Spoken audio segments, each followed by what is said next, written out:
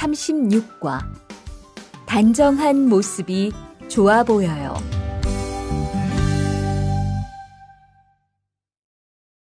대화 1 리안 씨, 새 작업복이 잘 어울리네요. 그래요? 저는 지퍼를 목까지 올려야 해서 좀 불편한데, 투안 씨는 괜찮아요? 좀 그렇기는 한데, 이렇게 해야 작업할 때 안전하니까요. 투안 씨 말이 맞아요. 그리고 지금 두 사람 단정한 모습이 좋아 보여요. 처음이라 좀 불편하겠지만 익숙해지면 괜찮을 거예요.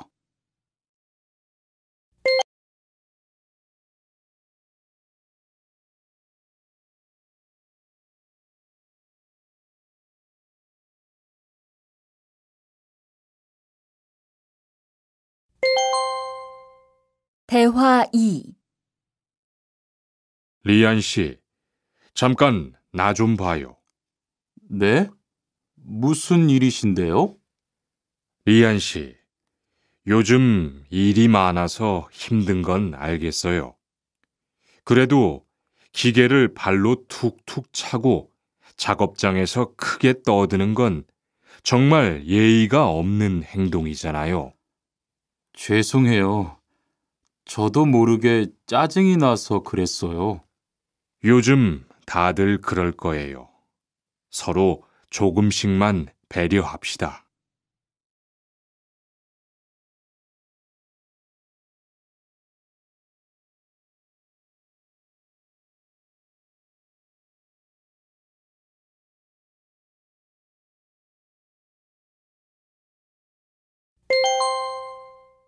삼십육과 EPS 토픽 듣기 1에서 2번 다음 그림을 보고 알맞은 대답을 고르십시오. 1번 1, 작업복을 입었네요. 2, 작업을 시작했네요. 3, 작업을 하고 있네요. 4, 작업장에 들어갔네요. 2번 1, 단추를 잠그고 있어요. 2, 지퍼를 올리고 있어요. 3, 유니폼을 입고 있어요. 4, 넥타이를 매고 있어요. 3에서 4번 질문을 듣고 알맞은 대답을 고르십시오. 3번 잠깐만요. 작업할 때는 작업복의 지퍼를 꼭 올려야 해요. 4번 그렇게 크게 이야기하면 다른 사람들에게 피해를 줄 수 있어요. 5번 이야기를 듣고 질문에 알맞은 대답을 고르십시오. 투안 씨, 왜 작업복 단추를 안 잠갔어요? 너무 더워서 좀 풀었어요. 더워도 작업복 단추를 풀면 안 돼요. 그러면 위험하니까 얼른 잠그세요.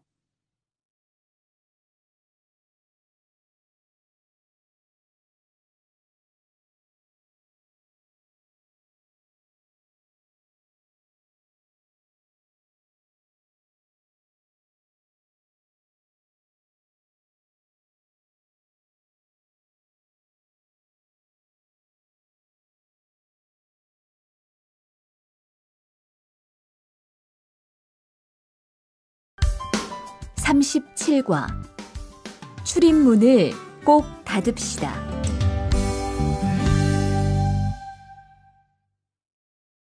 대화 1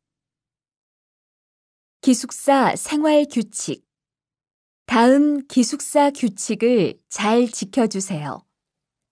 1. 방을 깨끗하게 청소합시다.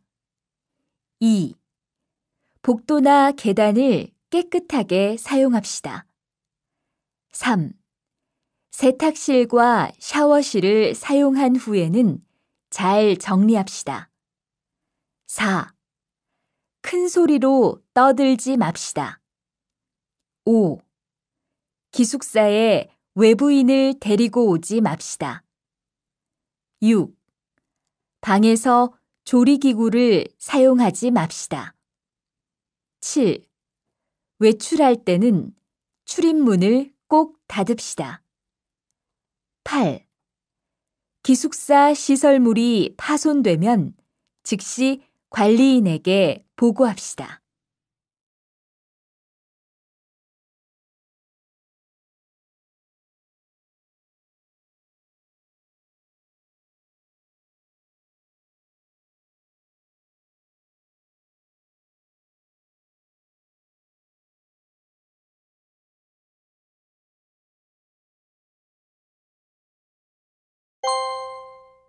대화 2.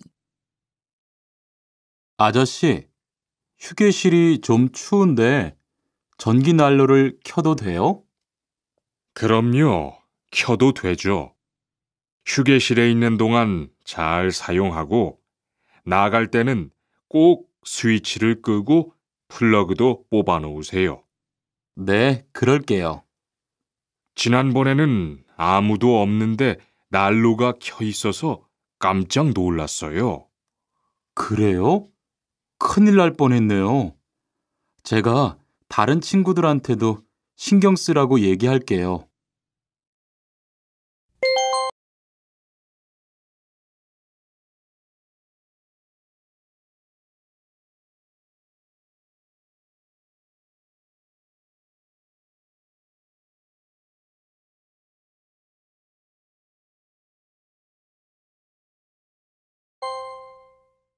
삼십칠과 EPS 토픽 듣기 1에서 2번 잘 듣고 내용과 관계 있는 그림을 고르십시오. 1번 밤에는 큰 소리로 떠들지 마세요. 2번 난로를 사용한 후에는 반드시 플러그를 뽑아야 합니다. 3번 이야기를 듣고 질문에 알맞은 대답을 고르십시오. 아유, 더워. 휴게실 에어컨이 또 고장 났네요. 그래요? 날씨가 많이 더워져서 냉방이 안 되면 힘든데. 그러게 말이에요. 선풍기라도 가지고 올까요? 네, 그럼 부탁해요. 저는 얼른 관리인 아저씨에게 이야기하고 올게요. 4에서 5번. 하나의 이야기를 듣고 두 개의 질문에 대답하십시오. 관리실에서 알려드립니다.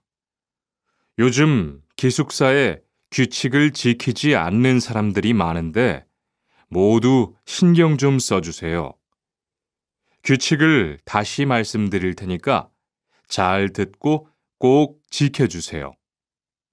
먼저 담배를 피울 때는 흡연실을 이용해 주시기 바랍니다. 또 방에서 조리기구를 사용하면 안 되고요. 외부인을 기숙사에 데리고 올 수 없습니다. 마지막으로 휴게실 이용 시간은 밤 10시까지니까 꼭 지켜주십시오.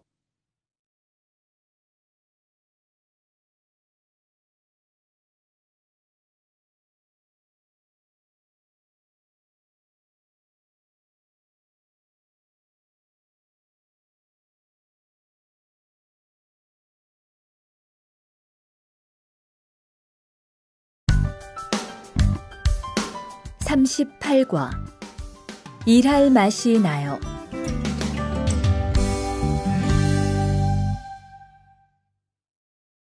대화 1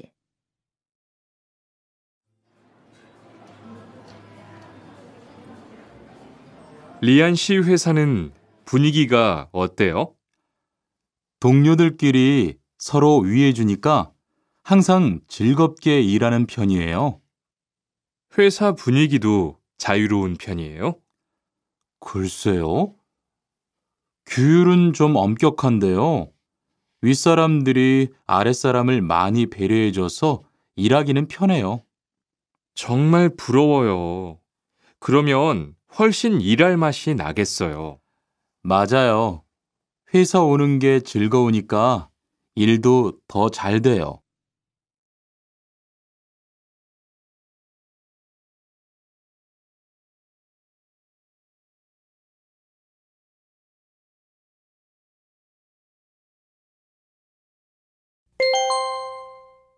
대화 2. 투원 씨, 조금 전에 바루 씨하고 왜 싸운 거예요? 별일 아니에요. 바루 씨가 제 말에 대답을 하도 안 해서 저를 무시하는 줄 알았어요. 그런데 기계 소리 때문에 못 들었다고 하더라고요. 아, 그럼 서로 오해한 거네요? 이젠 화해했지요? 그럼요. 저도 사과했고 바루 씨도 미안하다고 했어요. 잘했어요. 동료끼리 잘 지내야지요.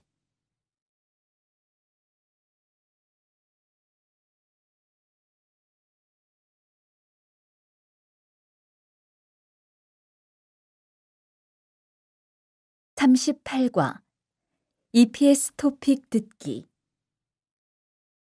1에서 2번 다음 그림을 보고 알맞은 대답을 고르십시오.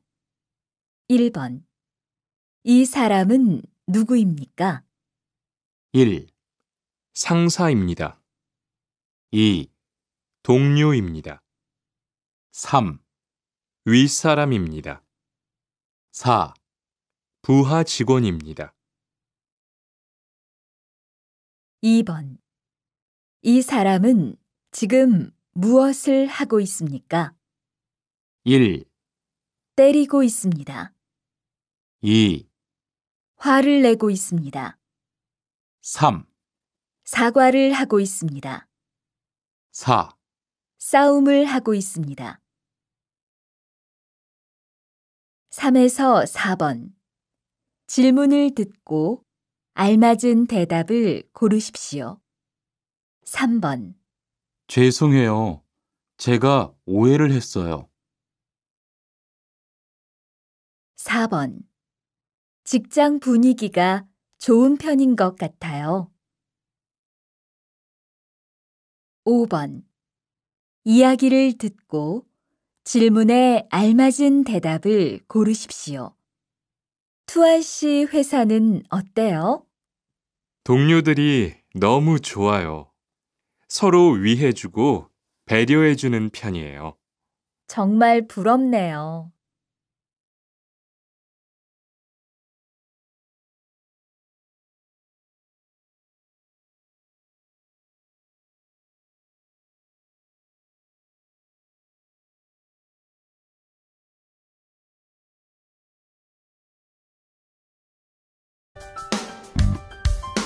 삼십구 과 오늘 회식을 하자고 해요.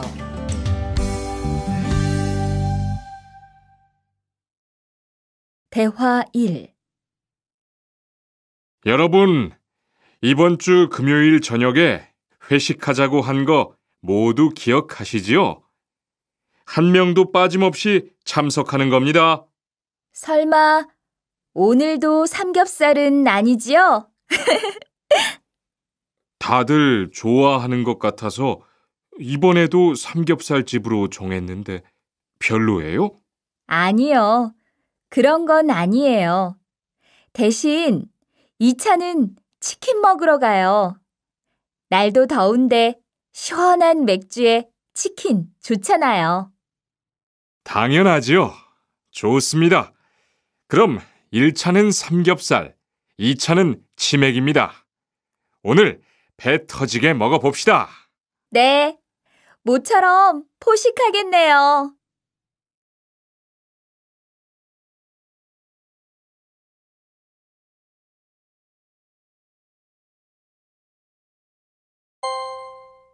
대화 2 자, 여기 좀 잠깐 보세요. 소개할 사람이 있는데 타타 씨예요. 다음 달부터 같이 일하게 됐어요. 안녕하세요. 타타 이스모노입니다. 타타라고 불러주세요. 타타 씨, 환영합니다. 공장장님, 새 식구도 생기고 요즘 날씨도 좋은데 단합대회라도 한번 하는 게 어떨까요? 그럴까요? 좋아요. 다른 분들은 어떠세요? 좋습니다. 그럼 다음 주에 일 끝나면 오랜만에 한번 뭉칩시다.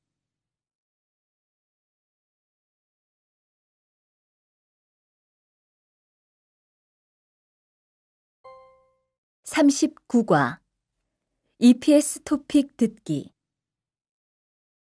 1에서 2번 다음 그림을 보고 알맞은 대답을 고르십시오. 1번 오늘 뭐 해요?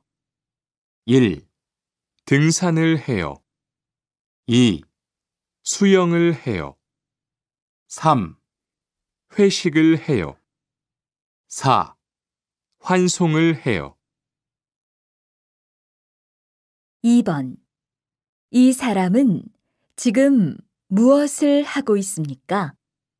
1, 술을 마시고 있습니다. 2, 2차에 가고 있습니다. 3, 건배를 하고 있습니다. 4, 노래를 부르고 있습니다. 3에서 4번.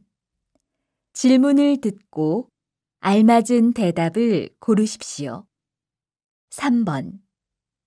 회식이 끝난 거예요? 4번.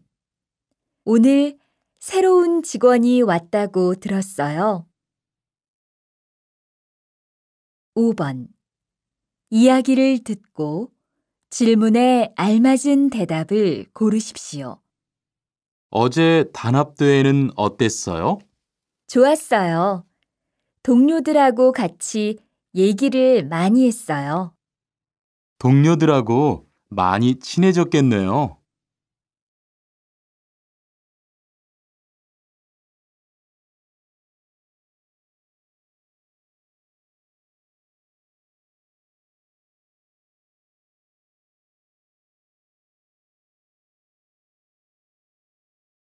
과 불쾌감을 느꼈다면 그건 성희롱이에요.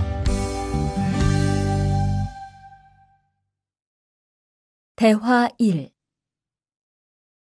칸, 아까 지은 씨 표정이 많이 안 좋더라. 그러게 말이야.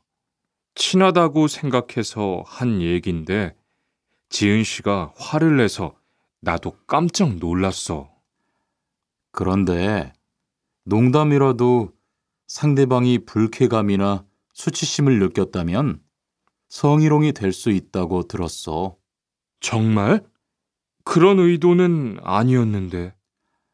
나는 칸을 잘 아니까 괜찮지만 다른 사람들은 오해할 수 있어. 성적 농담은 아주 예민한 문제잖아. 앞으로는 정말 조심해야겠다.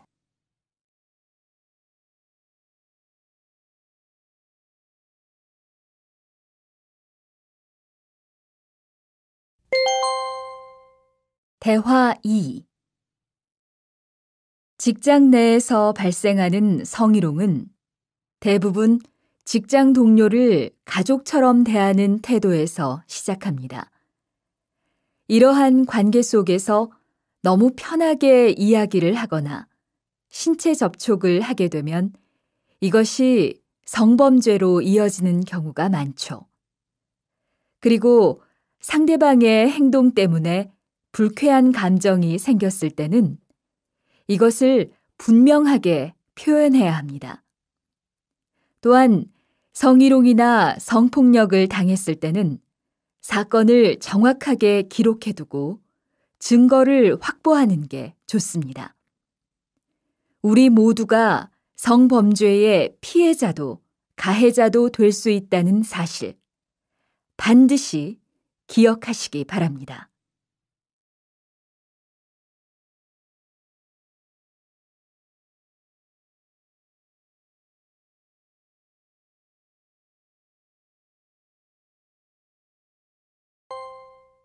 사십과 EPS 토픽 듣기 1에서 3번 다음 그림을 보고 알맞은 대답을 고르십시오. 1번 이 사람은 누구입니까? 1, 증인입니다. 2, 증거입니다. 3, 피해자입니다. 4, 가해자입니다. 2번 이 사람은 지금 무엇을 하고 있습니까? 1, 음란물을 보고 있습니다. 2, 동영상을 보고 있습니다. 3, 성적 농담을 하고 있습니다. 4, 신체 접촉을 하고 있습니다. 3번 이 사람은 지금 무엇을 하고 있습니까? 1, 강요하고 있습니다. 2, 신고하고 있습니다. 3, 요구하고 있습니다. 4, 표현하고 있습니다. 4에서 5번. 하나의 이야기를 듣고 두 개의 질문에 대답하십시오. 직장 안에서의 성희롱이 발생했을 때는 정확하게 자신의 생각을 표현해야 합니다. 만일 직접 말하기 어렵다면 편지를 쓰거나 다른 방법으로 자신의 의사를 표현하는 게 좋습니다. 그리고 상대방이 한 말이나 행동을 증명할 수 있는 증거를 모으십시오. 사진을 찍거나 녹음을 하시고 날짜와 시간, 장소 등을 정확하게 써놓아야 합니다.